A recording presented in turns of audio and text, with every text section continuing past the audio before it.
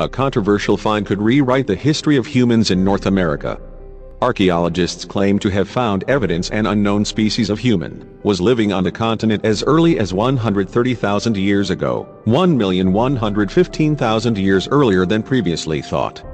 Researchers discovered the butchered remains of an enormous mastodon in San Diego, with evidence of chips and fractures made by early humans, but they admit they don't know if they were Homo sapiens, Homo erectus, Neanderthals, or something else. The findings could dramatically revise the timeline for when humans first reached North America, although many researchers are skeptical of the find, claiming there are issues with the dating technique used, and many questions over the research. The mastodon remains were discovered at the Cerutti Mastodon site, in San Diego, by paleontologists from the San Diego Natural History Museum during routine work in 1992 bones, tusks and molars, many of which had signs that they were deliberately damaged, were found deeply buried alongside large stones that appeared to have been used as hammers and anvils. Miss Judy Gradwell, CEO of the San Diego Natural History Museum, said, This discovery is rewriting our understanding of when humans reached the New World. The evidence we found at this site indicates that some hominin species was living in North America 115,000 years earlier than previously thought. This raises intriguing questions about how these early humans arrived here and who they were. The earlier date means the bone smashers were not necessarily members of our own species, Homo sapiens.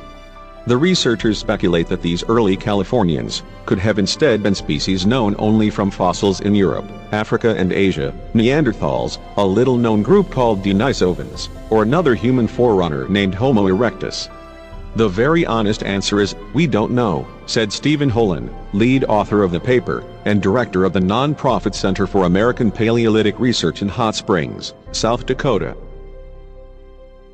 No remains of any individuals were found.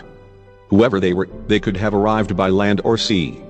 They might have come from Asia via the Beringia land bridge that used to connect Siberia to Alaska, or maybe come across by watercraft along the Beringia coast or across open water to North America, before turning southward to California, Holen said in a telephone interview.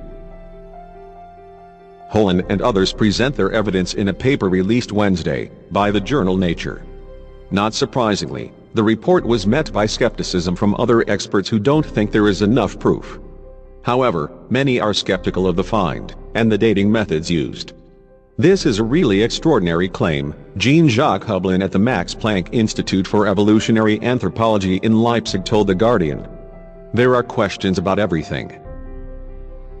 If the results stand up to further scrutiny, this does indeed change everything we thought we knew, said Chris Stringer of the Natural History Museum in London.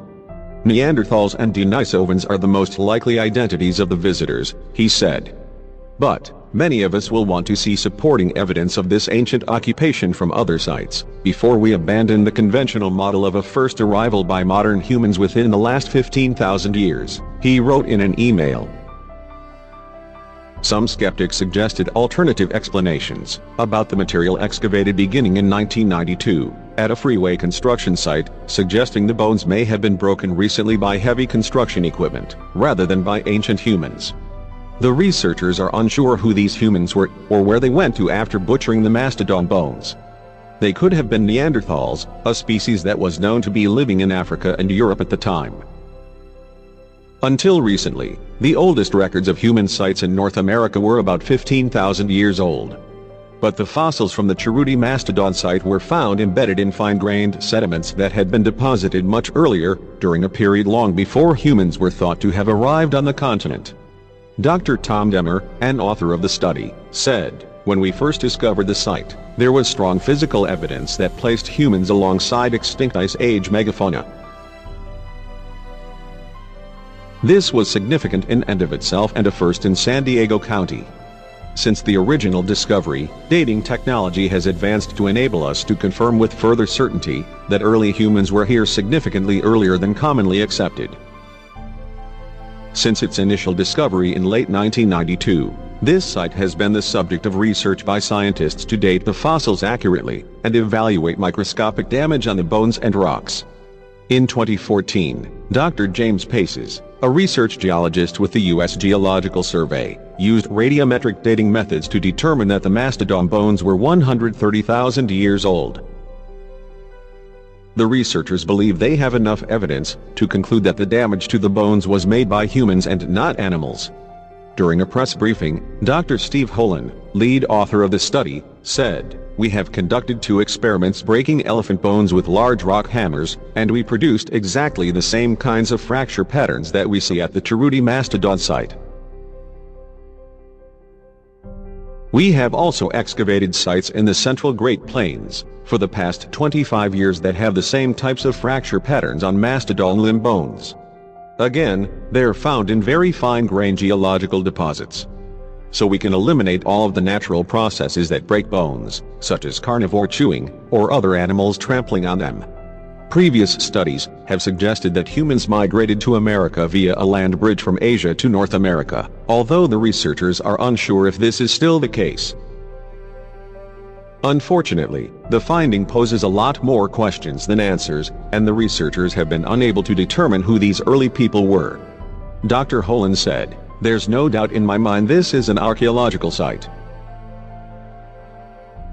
The bones and several teeth show clear signs of having been deliberately broken by humans with manual dexterity and experiential knowledge. This breakage pattern has also been observed at mammoth fossil sites in Kansas and Nebraska, where alternative explanations such as geological forces or gnawing by carnivores have been ruled out. The specimens recovered from the site will be on display at the museum from today.